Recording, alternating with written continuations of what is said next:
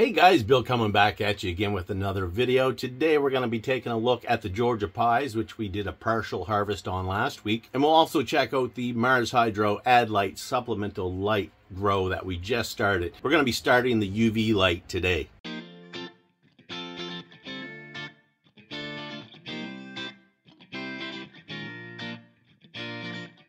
All right, guys, so first off, let's check out the remainder of these Georgia pies, and we'll see if the rest of the buds are mature enough to cut down this week. All right, guys, so as always, in the Mars Hydro 5x5 upgraded tent, growing under the Mars Hydro FC6500 Smart Light, which is run off the Mars Hydro app on my phone. The timer makes things so much more convenient. Uh, no need to add a timer to the tent, just use the app and it'll take care of it for you. Here we have the Georgia Pies.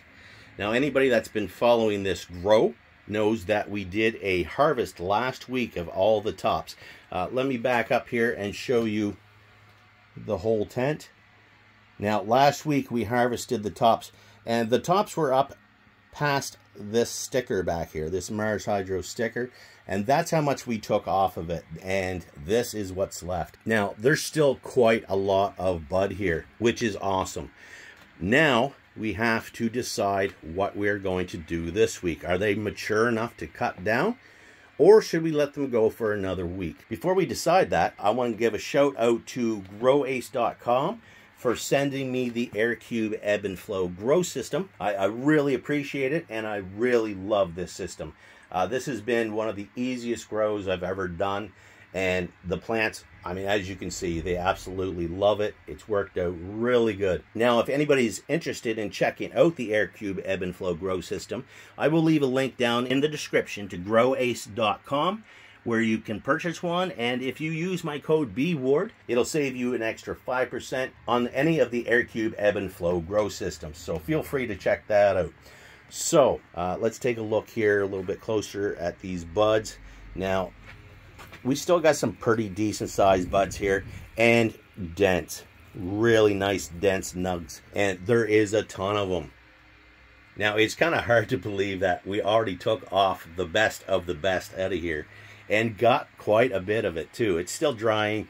Uh, just about done and then we'll be putting them up for cure. And with the smells the terpenes on these and the amount of trichomes on these let's let's see if we can zoom in on this just to see the trichome production here. Look at that. It's just beautiful.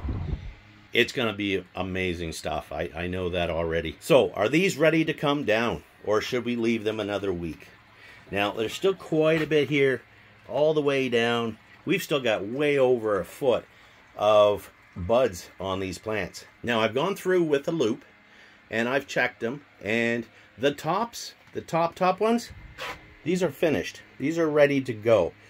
But once we get down a little further, down into here, these still are not mature enough. They still haven't had enough time to finish up. So I have a few different options here. If I needed this tent to start another grow right away, I could just say, eh, it's fine. We'll chop them all down. We'll chop the plants right off so that we can flip this room get it ready for our next grow. That being said, for my next grow in this tent, I do plan on running the AirCube system again but I'm going to set it up quite a bit different and run it a little different as well.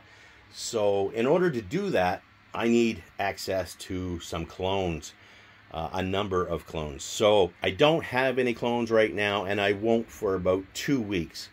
So that means I don't need this tent for two weeks. Option number two is leave everything for another week, and hopefully the bottom ones, the ones down below, will mature up just a little bit more. So that's option number two. Option number three, where I don't need the tent right away, and it would just be sitting empty for a couple of weeks. Option number three is do another partial harvest, which is what we're going to do. Now, there's really no downside to doing another partial harvest where I'm not ready to use the tent again right away. The only downside would be uh, running this light for another week on the bottom buds and filling up the reservoir once more, which is not really that much. So I think that's what we're going to do this week, guys. Now I've gone through with the loupe and I have a pretty good idea of what to cut and what to leave. So that's what we're going to do right now. Now, it's really hard to record this uh, from a tripod because once I get in there, I take up quite a bit of space. So I will put you on the tripod. As we harvest this, I'll, I'll put it at this angle so we can see most of that harvest. So let's get into it.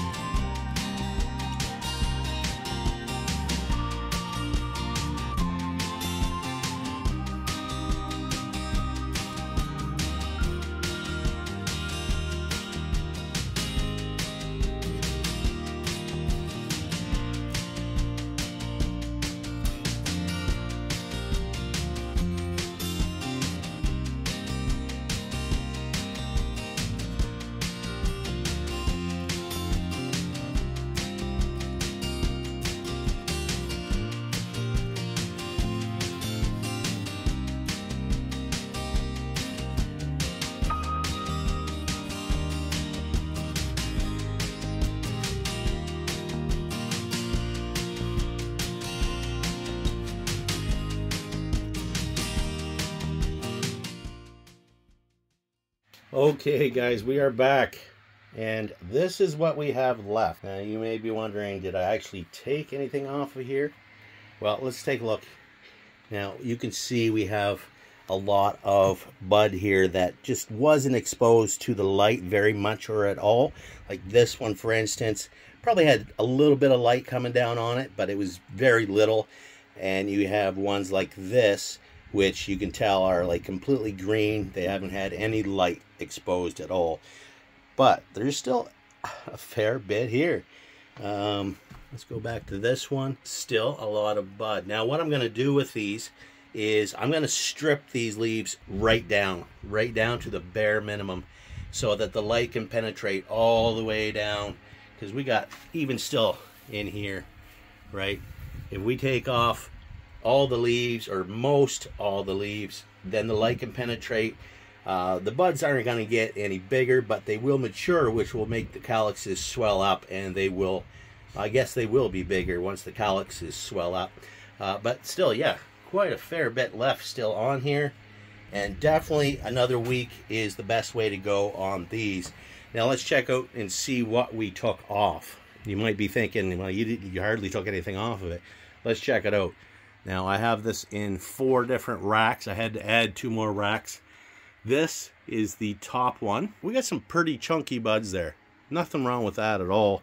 And uh, some of them we could take a little bit bigger uh, amounts off of and some of them were just like single buds that were sitting at the very top. There's a nice one there. Um, so yeah, so we got a fair bit. Now this one, was off of this plant, the first one I did that you watched me chop. Uh, the second one, this one here, is on the second layer. Uh, you can tell this one because the leaves are lighter on this one. Uh, all through flower, the leaves were lighter. And again, we got some, you know, pretty good size amounts off of there. And other ones were just, I guess, I guess that one is a few buds. But we have some there that were just like single buds. But again, that's not bad at all. So we'll take it. And pretty much all these are mature and ready to cure and then ready to dry. This one here is that one back there. Now I think we got the least amount off of this one, but still, but still some nice, nice dense buds. These are, these are really dense, but it's the smell in here, man. The, the smell is crazy. And of course, the last one back there in the corner, we have this here. Like, take a look at that. That's that's a beautiful, beautiful bud and fully mature. So I think we definitely made the right call on taking off a second harvest there and leaving the rest for another week. May as well use the tent uh, while I'm waiting for some more clones. All right, so that's the second harvest. Let's go check out the Mars Hydro ADlite Supplemental Light comparison grow. We'll be finally starting up the UV light in that grow. Let's go check it out. All right, so here we have the ADlite comparison grow. These are Blue Razzicles, which were donated to me by my friend Julian. Uh, he has a channel on here, East Coast Grow Tents. Go check him out and uh, tell him Bill sent you. Thanks a lot, Julian, for the clones. They've been in here for a week now. As you can see, I've set up a drip system. This is the Mars Hydro drip system that I have set up. So uh, twice a day, they'll come on for a minute and they will water the plants. So that works out really well. As you can see here, we're using the Mars Hydro SP 6500 beast of a light and we have it partitioned off in the middle so this side will get the additional supplemental lights the UV the IR and the deep reds we have one on one of each on either side of this light and uh, we'll be using timers to run these lights where Mars Hydro recommends to run them. So we haven't used them yet. We've just put them in last week, wanted to let them get their roots a little bit.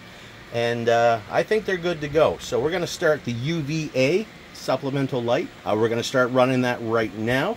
We have the timer already set. We just have to find out which cord it is. UVA right there. So we're going to go ahead and we're going to plug that in. It'll come on every hour for five minutes. We have it set right on the bottom. It says auto. So we are all set. Now every hour that will come on for five minutes and then turn off. Only while the lights are running, of course. So we're on our way. We're starting the comparison grow today.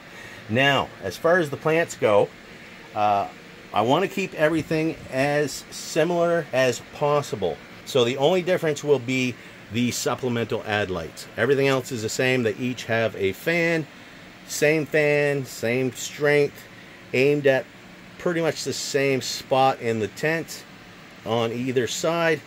Um, they both have two Mars Hydro drippers that will be for food. All the water will be mixed in here, so they will get exactly the same food. And the tent will be exhausted by a Mars Hydro 6-inch inline duct fan and uh, yeah, I don't know how we can get any more similar. Now, the plants themselves, I don't plan on doing much training on these. Uh, for the simple fact, if I train one even a little bit more aggressively than the other, then that's going to skew the results. So I don't plan on doing much training. Uh, I did take a couple of leaves off that were right close to the bottom, uh, right into the dirt. I did that on either side. And I do want to do one thing starting out where we're just starting the test now. I do want to top it once, each one. Now you can see it's kind of bushy around here and then it's straight up, okay? Same here, kind of bushy in that area and then straight up. I want to take off the top. I want to take it off down to about this level. Uh, I'm going to keep this for clones. I take it off there and I'll take this one off here. So they'll start out the same and that will cause the bottom here to bush out so we'll get more of a bushier plant on both sides, not just one, on both sides um, instead of the straight up Christmas tree type grow. So uh, I'm going to do that now. I'm just going to cut them off and try to be the same on both sides and that's it. After that, we will not be defoliating, we will not be LSTing or topping anymore. We're going to let them go just as is. So I'll grab my scissors. Let's do this one here first. Uh, I think right there. Just cut it. I'm going to take this and put it in water. So we have that one. This one, we're to take it right there. So that's it. That's the only manipulation of the plant we're going to do. And now we're just going to wait and see how these lights do. It's around noontime right now. Uh, they'll get their first hit of light right at 12 o'clock until 12.05. Turn off and turn back on at 1 till 105 and continue on until the light's out. Now the IR, the infrared, and the deep red, Uh, they don't recommend to run those until the flowering period, so they're not plugged in. We won't be using those right yet, but this is how Mars Hydro recommends to run them, and that's what we're going to do. Okay, so waiting game on the lights. Uh, we'll check them out every week. We'll do a quick update on them just to see, compare each one as they're growing and see what kind of differences there are, if any, and uh, we'll go from there. And next week, come back, we'll uh, check out these Georgia pies again and see if we can take the rest down next week, or do they need another week? Uh, this may be one of the longest harvests in history, in the history of this channel. But uh, I'm pretty happy with what we've got off so far. Really happy with the AirCube ebb and flow grow system and all of Mars Hydro's equipment that help these plants get to their full potential. So uh, for Mars Hydro, if anybody's interested in their products, which is pretty much all I use, feel free to check out the link in the description, marshydro.com. If you use my code BWARD, you'll save yourself a little bit at checkout. And there's also some Amazon links if you'd rather go that route. So feel free to check that out. All right, guys, thanks for watching. I really appreciate it. Like, share, subscribe, leave a comment down below, and we'll see you on the next one. Happy growing.